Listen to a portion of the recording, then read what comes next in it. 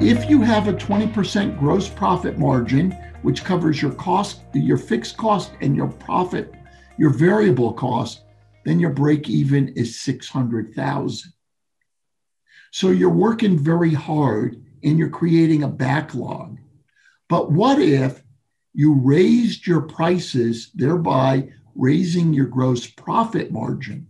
And if you could raise that by 10%, the amount of money you have to sell instead of 600, you only need 400,000 dollars worth of jobs. That's a 20 uh, 30% reduction in the amount of jobs you need to make the same money.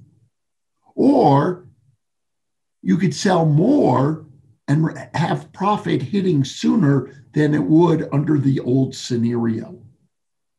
So, those are just some key concepts that when you look at your financial information in tandem with your marketing information and your sales information, you could stop putting out fires and spend more time with the freedom you will gain by running your business like a CEO by the numbers instead of by the seat of your pants.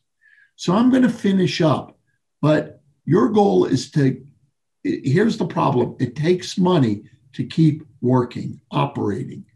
And you have only one objective, which is to make more money.